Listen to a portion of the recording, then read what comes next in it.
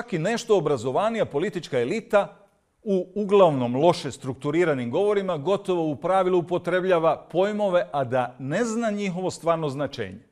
Već sam nekoliko puta problematizirao pojam politikanstvo, kojim se vrlo često služe, a da ne znaju što zapravo govore, tobože veliki demokrati. Sve što nije službena, vladajuća politika, hrvatski političari proglašavaju politikanstvom. A to pak je recidiv jednopartijskog režima kojeg se oni gnušaju. Zbog demokratske skučenosti i siromašnih znanja ti tobožni političari politikantima proglašavaju sve svoje suparnike, želeći ih na taj način omalovažiti i marginalizirati. A zapravo pokazuju svoje neznanje. Kao i oni koji svakog neistomišljenika etiketiraju kao populistu. Populizmom se smatra iznevjereno obećanje predsjednice Kolinde Grabar-Kitarović da neće vladati s Pantovčaka i s svetom vodicom poškropljene vile crvenoga Tita. Ali to nije populizam, već obmana, laž. Pročitao sam da je Božo Petrov populist koji je obećao da će napuniti sabornicu zastupnicima, a sada ni njega najčešće nema na sjednicama. Ni to nije populizam, već prijevara, s kakvima se Petrov i Most služe sve vrijeme. Oduzet ću vlast političkim elitama i vratiti je onome kome pripada, narodu. Grmio je u vrijeme predsjedničke kampanje Donald Trump. E, to je već bila najava populizma koji Trump provodi u dijelu. Populizam je demokracija bez demokrata, pa se sve državne odluke legitimiraju osobitom građanskom volju. Populizam je zapravo jedno umlje u kojem nedemokrati u ime naroda u prvi plan guraju tobože više ciljeve, važnije od stranačkih programa te stvarnih interesa i potreba građana. Populizam omogućuje da državna vlast odlučuje bez stvarne kontrole. To pak je znak da je Hrvatska populistička, a ne demokratska država. Populizam proizvodi autoritarizam koji je bio najnaglašeniji u Tuđmanovo doba. Tuđman je marginalizirao, sjetite se njegove rečenice da neće dopustiti oporbenu situaciju u Zagrebu, više stranačje, a manjinsko mišljenje tretirao kao protudržavno i protunarodno. 30% građana tretirao je petom kolonom, a ne elitu stokom sitnog zuba.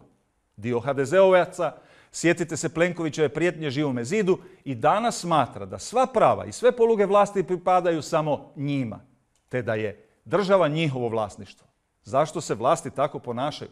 Zato što se većina građana dobrovoljno odrekla protesta i kritike. Zato što većina građana povlađuje vlastodržcima i gura ih u autoritarizam.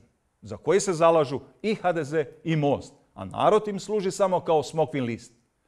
Andrej Plenković već tjednima pokušava građanima prodati priču kako je u Hrvatskoj dobro, te da naprosto srljamo u bolju budućnost. Strmoglavljujemo se u med i mlijeko.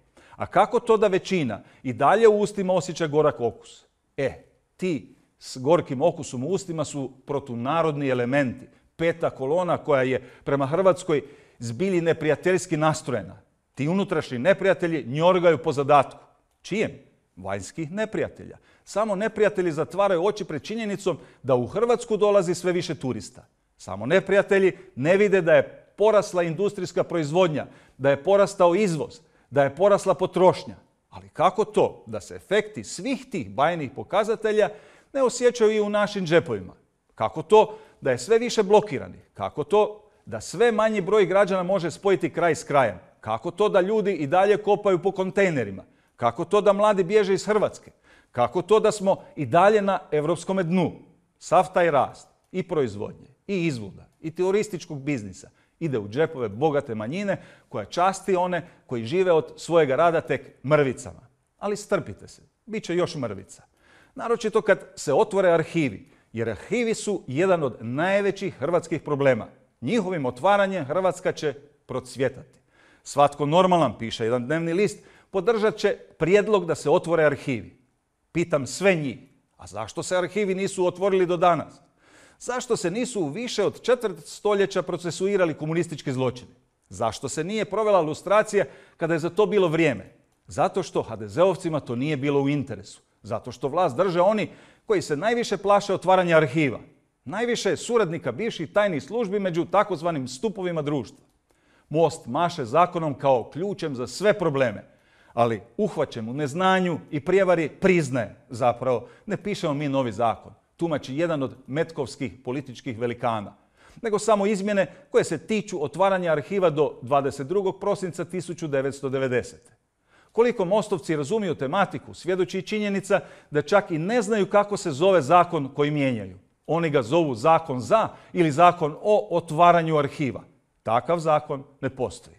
Ali baš se mostu fučka i za nazive i za suštinu. Glavno je da oni i dalje obmanjuju.